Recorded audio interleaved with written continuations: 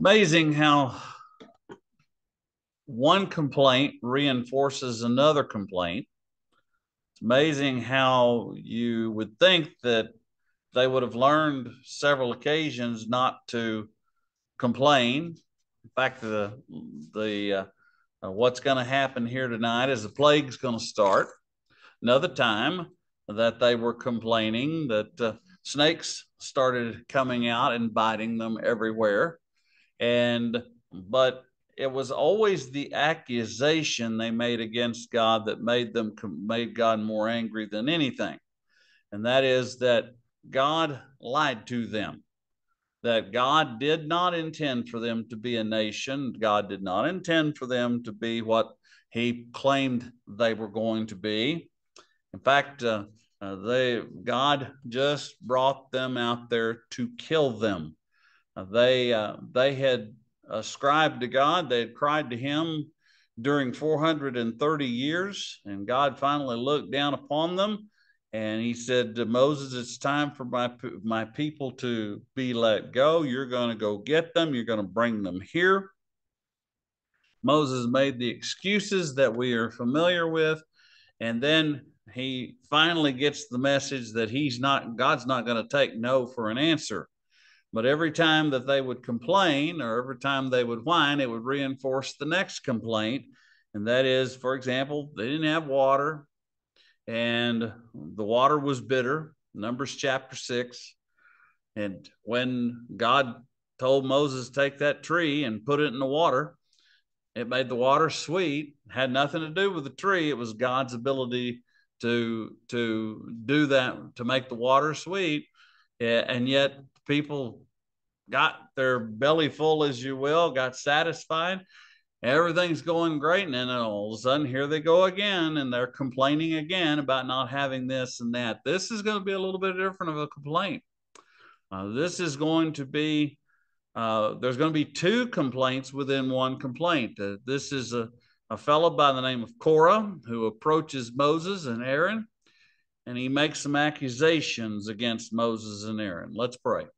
Almighty God and Heavenly Father, we thank you for the time that we have tonight to study your word. Thank you, Father, for the ability to understand. And we pray that we go away from here better than when we came. Father, we just pray for all of those who need our prayers this evening.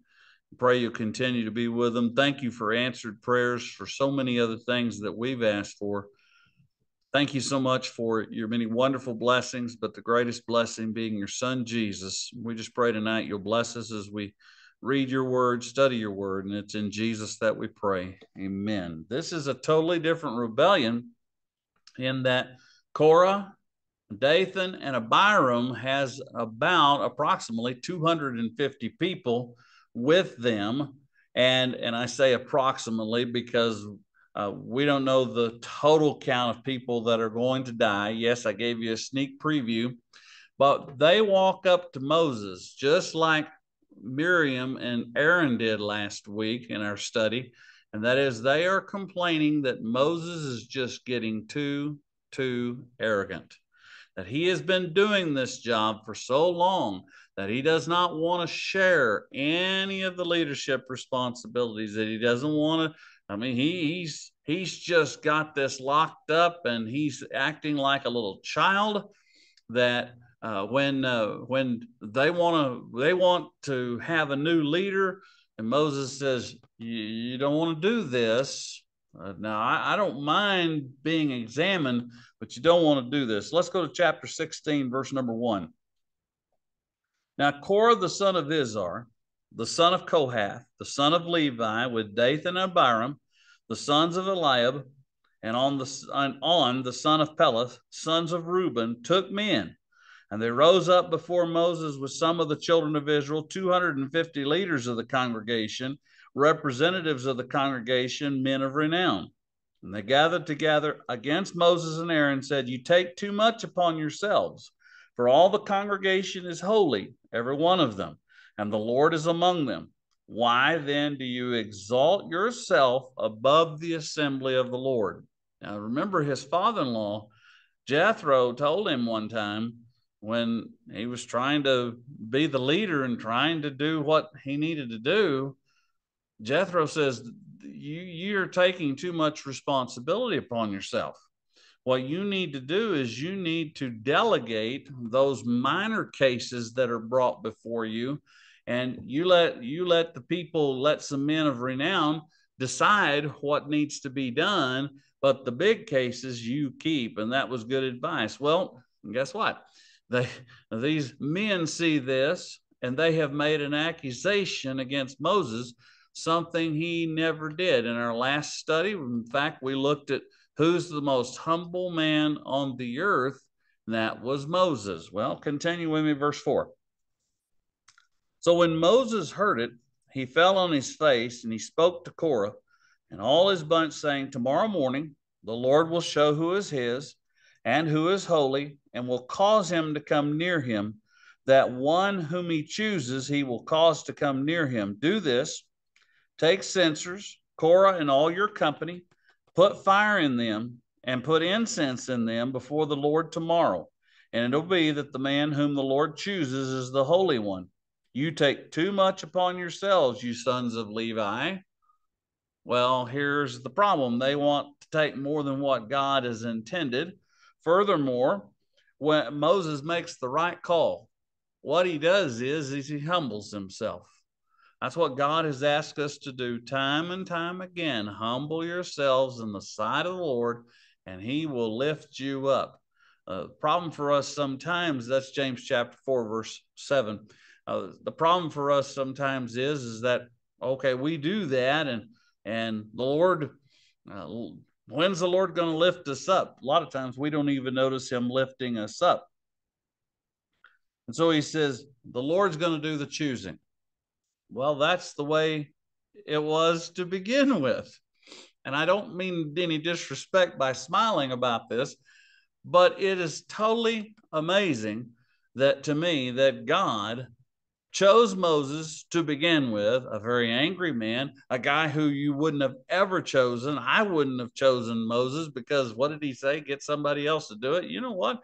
If you don't want to do this, fine and dandy. I'll just just let you go for the next 40 years or whatever it is, and you just go live in the land of Midian.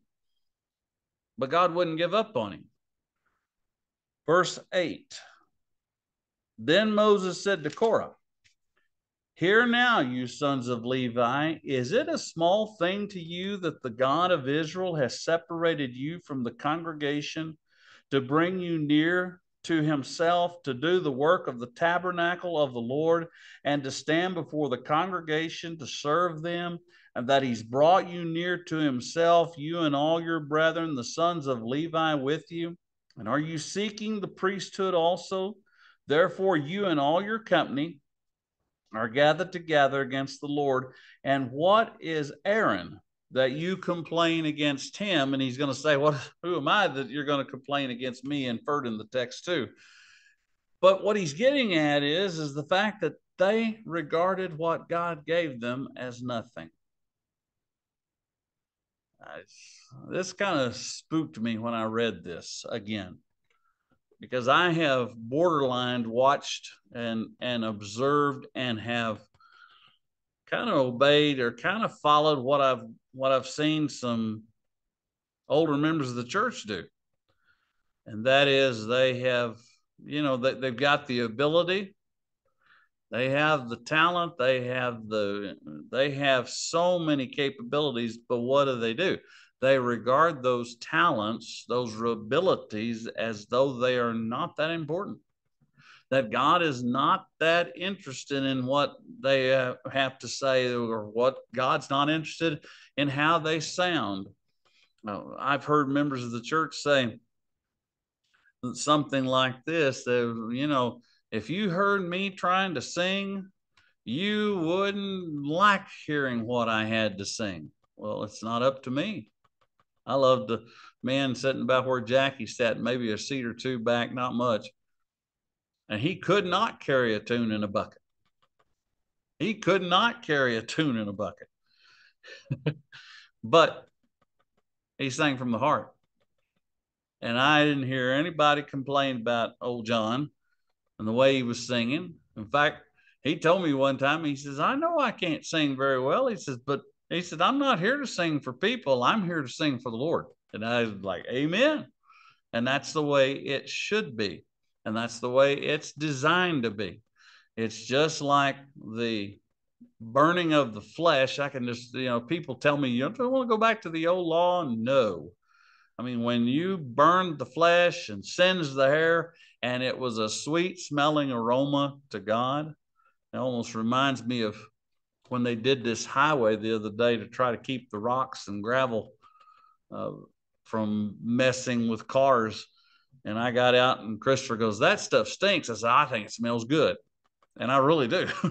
uh, I think diesel smoke smells good too. I don't go sniff it. I liked regular gas. The I don't go sniff it. I had a lady yelling at me one day. We went to go get gas, and when it was the days of regular, and I went to go get gas to put in the lawnmower. And I said, Boy, doesn't that smell good? And she's like, What are you doing? Sniffing gas? No, I'm not sniffing gas. I'm not sniffing diesel. It's just that sweet smelling aroma to God is something we consider that stinks. But here's what he's saying He's saying, Look, you think that what God has appointed you to do is nothing. And I used to get and I, I hate to use the term, but it was true. I used to get dumped on when it came to singing at home. And my dad and I were two of the song leaders, but we had about three or four more. And one of them inevitably would come right up before worship started and goes, Hey, Dwayne, can you lead singing for me this morning? And I'd be like, why didn't you ask me that about 10 minutes ago so I could pick some songs out? And uh, it's one of the reasons I memorized the old songbook so well uh, because they do it every week. And and yet they didn't consider what the Lord had given them a blessing. They thought it was something, it was a hassle. And Moses even goes so far as to say, and let me let me try to explain what he's getting at here too and that is all the sons of Levi were set aside to do the work of God. All priests were Levites, but not all Levites were priests. I'll let you think about that for a second. And Moses says, You honestly want to take God's appointment to be a priest? That's only for the tribe of Aaron. That's only for Aaron's lineage. I'm sorry, not the tribe of Aaron uh, Levi. That's only for him. Moses was not appointed the high priest. Moses was a priest. Well, what do you mean by that? Well, how else could he go into the house of God? So, why are you complaining? They had it well, they had it good. Verse 12. So Moses sent to call Dathan and Abiram, the sons of Eliab, but they said, We will not come up. First of all, they've got a lot of people behind them. The old phrase comes to mind what is popular is not always right. And that's what happens here. We will not come up. Moses sent to call them. Verse 13 Is it a small thing that you have brought us up out of a land flowing with milk and honey to kill us in the wilderness. Now, I want you to think about this a minute. And I know I can't do this justice, but I'm going to try everything I can here. When you have two to two and a half million people leaving Egypt who do not know their left hand from their right hand, who have no idea how to defend themselves, who have no idea how to fight, who have no idea how to be an independent people. A lot of people don't understand when we have spent the last about 20 years in the Middle East. Well, I'll tell you what, we love democracy, don't we? We want that all over the world. And the question comes up time and time again why in the world do those people not want democracy? Because they don't understand it. They sincerely do not understand how you can be free without having to answer to a government, without having to answer to this, answering to that. It just, it's just totally mind boggling to them. And so, what does he do? What do they do? They accuse Moses, first of all, of the same argument.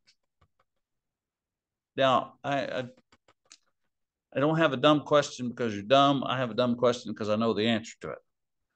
How many have ever complained about politics? Anybody ever done that? uh, the kids, I'll catch them from time to time, and they'll be complaining about our current president, and and and they don't know what all they're saying. They just hear it at home. but it's, and I've said it at M and A with friends of mine for I don't know, I don't know how long. One time for three hours, we argued about politics. Do you think we solved any of it? No, it was just fun to argue about it. It was just fun to gripe about it. It's fun to complain about it. But it reinforces what we've already heard. And that's what what Moses wants us to get get at as well. The Holy Spirit's wanting us to understand. Look, it is a is it a small thing that you brought us out of a land flowing with milk and honey. Now, wait a minute. Hold on. Let's go back here a minute. What was the promise God made in Numbers 13, going back to Deuteronomy 3 or 2? I'm going to take you to a land that's flowing with milk and honey. You're going to bring back some of the produce. I don't remember Egypt being a land flowing with milk and honey. Do you? I just don't. I remember they wanted out of there. Verse 13 Is it a small thing that you brought us up out of a land flowing with milk and honey to kill us in the wilderness, that you should keep acting like a prince over us? Moreover, you've not brought us to a land flowing with milk and honey, nor give us inheritance of fields and vineyards. Will you put out the eyes of these men? We will not come up. Now, hang on just a second. Why didn't they get this land? Why didn't they get everything God promised them? Go back to Numbers 13 and 14. It is indeed a land flowing with milk and honey. It's everything God said, except we can't take it. God said we can, but we can't. Oh no, we can't take this. And the reason is they are so big and we are so small. In fact, they saw us. I don't remember them seeing them. That's what a spy does, right? You don't see, you don't see, right? Then you get to, to the latter part of Numbers 13, and the 10 spies came back into 14 and they told a lie. And the people believed the lie. And when the people believed the lie and they wanted to stone Joshua and Caleb along with Moses and Aaron, God said, Get out of my way. I've had it. I'm done. They are going to be wiped off the face of the map. But Moses interceded for them, just like he's doing now. They've got this whole story so turned around, they can't even make heads or tails of it. Verse 15 Moses was very angry, and he said to the Lord, Do not respect their offering. I have not taken one donkey from them, nor have I hurt one of them. And Moses said to Korah, Tomorrow you and all your company be present before the Lord, you and they as well as Aaron. Let each take his censer and put incense in it, and, and each of you bring a censer before the Lord, 250 censers, both you and Aaron, each with a censer. So every man took a censer, put fire in it, laid incense on it, stood at the door of the tabernacle of meeting with Moses and Aaron. And Korah gave all gathered all the congregation against them at the door of the tabernacle of meeting then the glory of the Lord appeared to all the congregation. And the Lord spoke to Moses and Aaron, saying, Separate yourselves from among this congregation, that I may consume them in a moment. And they fell on their faces and they said, O God, the God of the spirits of all flesh, shall one man sin and you be angry with all the congregation? So the Lord spoke to Moses, saying, Speak to the congregation, saying, Get away from the tents of Korah, Dathan, and Abiram. And Moses rose and went to Dathan and Abiram, and all the elders of Israel followed him and he spoke to the congregation, saying, Depart now from the tents of these wicked men, touch nothing of theirs, lest you be consumed in all their sins. Now, here's what's pretty exciting they did what Moses said to do. They didn't sit there and mince words. They didn't sit there and go, you know, I, maybe I think Dathan and Abiram's got a point. Maybe Korah and his bunch have a point. Moses says, Get away from them. And they did exactly what he said. Verse 28 By this you will know that the Lord has sent me to do all these works, for I've not done them of my own will. I want to stop here just for a second. I know the story continues. But somebody else said that same statement, or pretty close. You remember when Pharisees and scribes kept pressuring Jesus? Actually, they just kept asking him. It wasn't a pressure to him, but they just kept pressing him and pressing him about by what authority do you do the things that you do? And it finally came to a head in John 18. He says, I'll tell you what, I will answer your question if you'll answer mine. Well, what's that? Not John 18. I'm sorry. Um, I'll have to look that up. I apologize. But it's still biblical. The baptism of John, was it from men or from heaven? And they stood there and they thought amongst themselves and they said, You know what? If we say that came from heaven, he's going to say, Well, why didn't you believe it? And then if we say, Well, that didn't come from heaven. People are going to stone us to death because they all considered John a prophet. And so they copped out and they said, We don't know. And he says, Neither will I tell you by what authority I do the things that I do. Jesus is a prophet and a priest after the foreshadowing of Moses. In fact, he, Moses said this in Deuteronomy 18, verse 15 through 17. I'm God's going to raise up a prophet just like me. And when he raises that prophet up, he's going to be a prophet and priest. And we know from Revelation chapter 1, he's prophet, priest, and king. He makes the rules. We don't. Verse 28.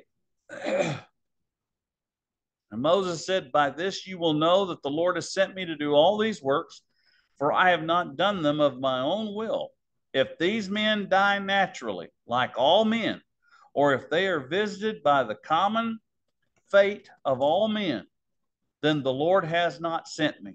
But if the Lord creates a new thing, and the earth opens its mouth and swallows them up with all that belongs to them, and they go down alive into the pit, then you will understand that these men have rejected the Lord and it came to pass, as he finished speaking all of these words, that the ground split apart under them, and the earth opened its mouth and swallowed them up with their households, and all the men with Korah with all their goods.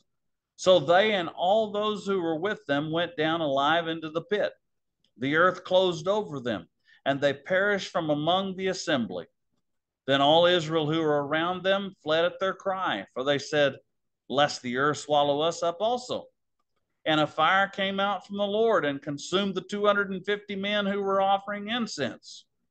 And the Lord spoke to Moses, saying, Tell Eleazar, the son of Aaron the priest, to pick up the censers out of the blaze, for they are holy, and scatter the fire some distance away. The censers of these men who sinned against all their souls, let them be made into a ham- into hammered plates as a covering for the altar. Because they presented them before the Lord, therefore they are holy. and they will be a sign to the children of Israel. So Eleazar the priest took the bronze censers, which those who were who had who were burned up had presented. They were hammered out as a covering on the altar to be a memorial to the children of Israel that no outsider who is not a descendant of Aaron should come near to offer incense before the Lord, that he might not become like Korah and his companions, just as the Lord had said to Moses. The other day, David Sproul from Palm Beach Lake said something pretty powerful. Well, I'm kind of understanding a little bit more why they asked what they asked. And that is when they would when they want to know something. For example, Gideon, when he wanted to really have proof that he's going to lead children of Israel out of the Midianites' hands. Give me a sign. They asked Jesus, give us a sign. Jesus said, no sign's going to be given except the Son of Man be lifted up. And that's the only sign we still have. and here is here is Moses. And he's telling these people, that this is going to be a sign. This is going to be something you need to understand. That when you see those hammered plates, this is one time God opened up the earth. I don't know what that was like. I have glimpses, maybe, but it's the first time and the only time I remember God ever using the earth to swallow up those who rebelled against him. And that's the thing that that uh, they never did learn very well. Oh, I know who they thought they were rebelling against. They thought they were rebelling against Moses. They thought they were rebelling against Aaron. But what does the Holy Spirit want us to remember and know? Who are they actually rebelling against? It's God. And shoot, man, I'm glad to tell you. Let me tell you tonight, I am so tickled to death to report. I can't even hardly finish this. I'm har- I'm so glad to report to you tonight. That's the last time they complained. I said it was hard for me to finish because that's not true. They not only got got scared to death of what they saw, but watch what happens on the next day Verse 41 And on the next day, all the congregation of the children of Israel complained against Moses, saying, You have killed the people of the Lord. Now, hold on a minute. hold the phone. Just like that old television, that old movie. Hold it, hold it. Who's the judge? Was it Moses? No. Was it Aaron? No. You know who the judge was and who the judge still is today. And that's God Almighty. And these people were told, get away from these 200 or these uh, a Korah and his bunch, get away from the 250 men. And they still are saying, after the earth swallowed them up, they're still saying they're godly and holy. Almost reminds me of the time that lady we were talking about Oral Roberts and how he got caught in some of his shenanigans in the late 80s. And the lady said, but he's still a man of God. I I almost lost my cool on that. Because he wasn't, and he's not. Well, how do I know? Well, How do I know that this is not right? Well, look at what happens. Verse 41 On the next day, all the congregation of the children of Israel complained against Moses and Aaron, saying, You've killed the people of the Lord. And it happened when the congregation had gathered against Moses and Aaron that they turned toward the tabernacle of meeting, and again the cloud covered it, and the glory of the Lord appeared. Now, did they see the glory of the Lord before? Yes. Did they see it back in Numbers or Exodus chapter 19? Yes. Then Moses and Aaron came before the tabernacle of meeting, and the Lord spoke to Moses, saying, Get away from them, get away from among this congregation, that I may consume them in a moment. And they fell on their faces. And Moses said to Aaron, Take a censer put fire in it from the altar, put incense on it, and take it quickly to the congregation and make atonement for them, for wrath has gone out from the Lord. The plague has begun. And Moses Aaron took it as commanded, ran into the midst of the assembly, and already the plague had, be, had begun among the people. So he put the incense and made atonement for the people, and he stood between the dead and the living. So the plague was stopped. And this wasn't a very big plague. Uh, this wasn't very many people at all. if you believe that, I've got some oceanfront property in Oklahoma I'll give you.